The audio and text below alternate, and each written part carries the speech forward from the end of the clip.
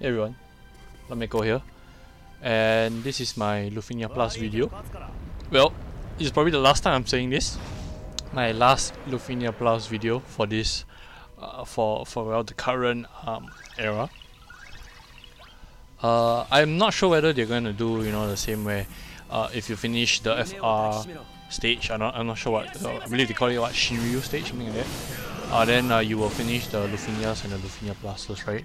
Uh, it would be nice if you can do that. Then you don't have to, you know, fight three uh, battles consecutively, or rather three annoying bat battles where you can only bring specific characters consecutively.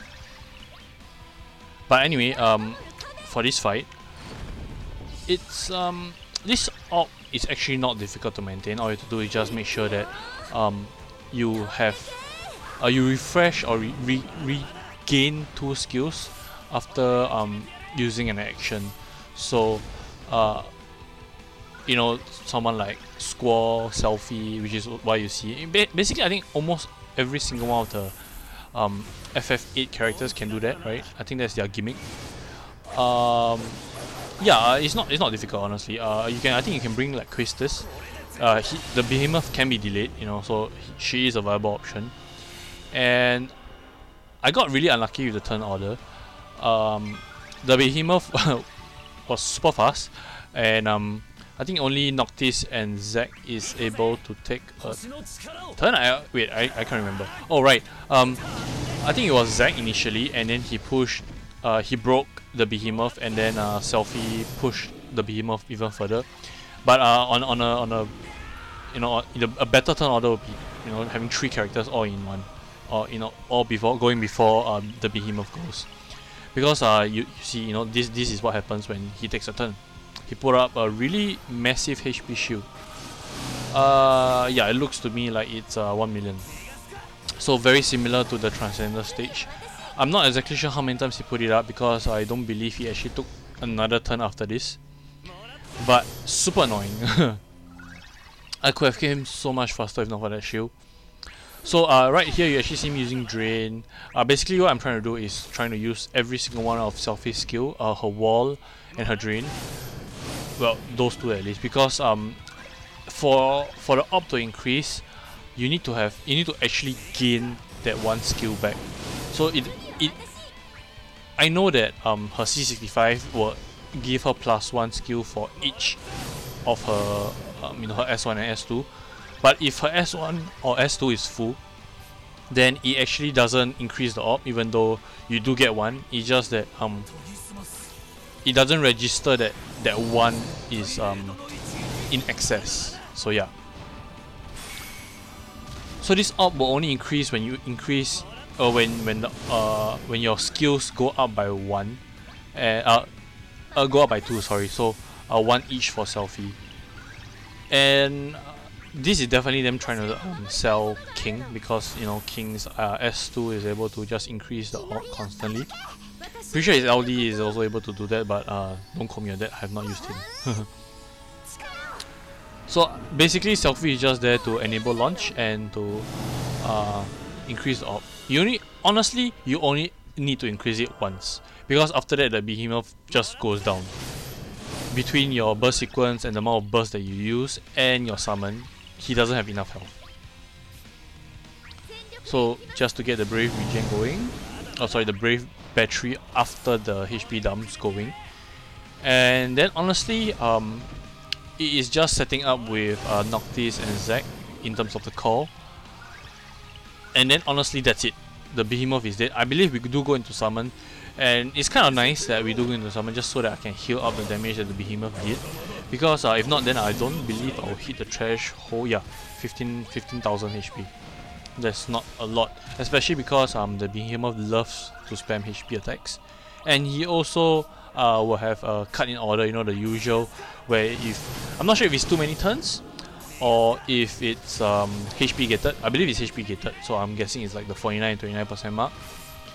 Uh, he will actually cut in order, and then uh, he will take he will take his turns regardless of um, where your team, your party members are, but you can break him out of it. So uh, if he does that cut in order and Garnet, for example, Garnet's overhead uh, goes off and he breaks, then whoever's next will still come forward. So he still can be broken uh, by breaking. Oh, sorry, push back by breaking him. So yeah, uh, it is possible, you know. You can put some some a time thing, you know, something like Doom or something. It, I mean, I'm not sure why you will bring him, bring you know whoever I'm talking about, but yeah, I really don't like him. But uh, yeah, you know, it, it is possible to um, get him out of that um, cut in order stage, or maybe just take one of it because I believe I took two before Garnet's overhead triggered. So um, with uh, Rupture up, we will be launching constantly. So um, Zack's always doing like 2 million damage, so it's really really nice. I believe I I finished this with um was it 20? I can't remember if it was 20 million damage. Uh, of course, those are peanuts compared to what we what we're going to do with in uh, in the FR, right? I'm not sure when is um King's Manor dropping. Actually, I'm actually re really looking forward to it. I give it uh somewhere sometime next week. Yeah, probably um. Well, today is like what? Today is Wednesday, so maybe next Friday. I, I, I suspect you know somewhere along that along that, that timeline. Of course, if you want a more accurate timeline, then you can just go uh, to the Tom Troop and and or just wait for you know the announcement. So honestly, this this fight is that, that, that's pretty much for his fight. Uh, he loves to spend HP, but if you don't, if he doesn't take any HP attacks, then you know, I mean, if he doesn't um, if he doesn't get get to do a turn, then you know, he's not gonna do anything. Uh, right, the HP damage notification is actually cancelled by him using uh, Meteor Plus, which is basically the enhanced version of Meteor.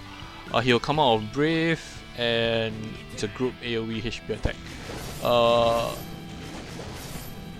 I don't think you're in any danger now, you know, especially if you're bringing someone like Zack. I'm pretty sure Vincent is also able to um, tank it out because of all his uh, attack down, right? His, his attack down, I think, I think he has like quite a few attack down debuffs, or auras, I can't remember. Uh, I got him again if you didn't uh, if you didn't watch my pool video. I got him again, so that's like what five uh, burst tokens. I, I mean five uh, burst weapons that I can sell. it's really insane to be honest. Kind of wish I didn't use any gems on it. But yeah, um, there we go, 17% and the finisher. I believe it, it actually this finisher actually did quite a lot. It actually brought him down to like 8%. I think I think it was somewhere close to 8%. There we go, he's like 11% now, right now. And uh, yeah, can't, can't see. It's always this bright light that I can't see. There we go, 20 million, nice. Uh, yeah, 8% damage. I uh, sorry, 8% health. wow, 8% damage, that's quite a lot. Actually, considering the fact that I just did 10, 10%, 8% doesn't seem that much anymore. so there we go, uh, yeah, there we go, one turn. And, oh sorry, he, so he just took one turn before Garnet's overhead uh, triggered. And that was like 4%, sorry, 3%. Uh, sorry, 2%, it was like 7%, right? Yeah, 2%. So, gone, went into the summon because I didn't want the, the Behemoth to take any more turns. And right now it's basically just trying to heal Zack up. So this is why I'm actually just C65 spamming just so that I can get the heal up. And then I was comparing which one will heal Zack more is either the Meteor shot or his EX. EX heals about 20%, Meteor was about 50%. So yeah, you know the choice is obvious here. So yeah guys, um slightly longer I think this video than the normal Lufenia Pluses. It's about 9 minutes. But uh not too difficult a fight, we have too many options to maintain the orb for it to be difficult. And yeah, uh, I'll see you guys in the FR era.